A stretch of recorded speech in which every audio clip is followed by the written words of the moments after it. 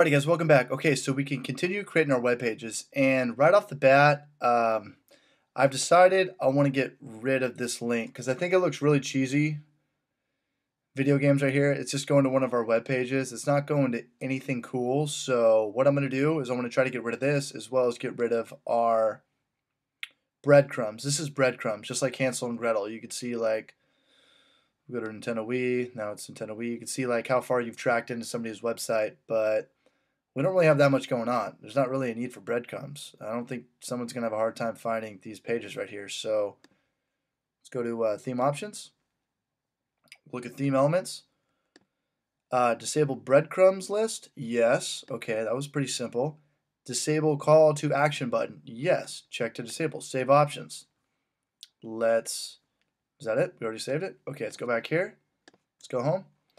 Perfect. Okay, so this is gone now. I could actually make this a little bit smaller too with our CSS, unless you wanted to add some more content right here, or if you wanted to make this be a bigger picture. I mean, this picture is really wide. It's not that big in height, but we're just creating kind of a makeshift WordPress site. So let's look at video games right now. We've got all this meta information. I don't want any, this looks like a blog. I don't want, the, I mean, this is a page. This isn't a blog. I want to get rid of all this stuff. So let's go into our editor and let's go to full page sidebar and let's grab our meta information. Let me try not to make any mistake here. Okay, so we'll go from the top, we'll scroll down, get header. We don't want to do anything with that. That's our main content. Have post, it does have post. Breadcrumbs, we already disabled that, so that's irrelevant.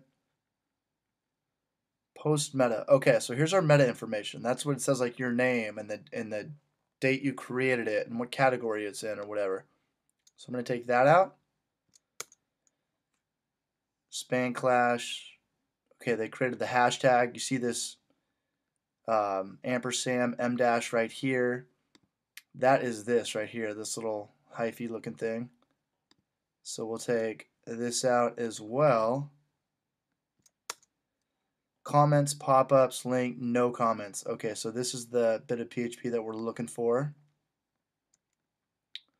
We can take this out as well. You can also take the span class out if you want to. There's nothing in it. I mean, it doesn't really matter if it's there or not. So let's go ahead and save that. And now let's reload this. And all of this should be gone right now.